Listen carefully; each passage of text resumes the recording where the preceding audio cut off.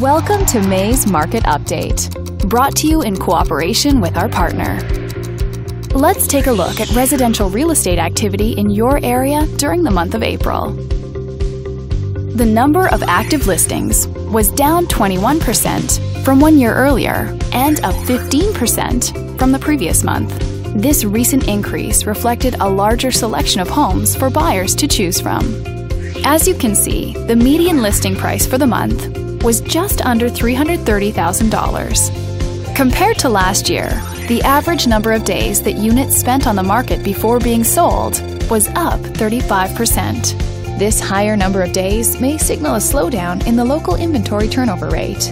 The median sale price was just over $270,000. The number of units sold increased 24% year over year and increased 49% month over month. These figures may indicate that buyers have been taking advantage of opportunities in this market.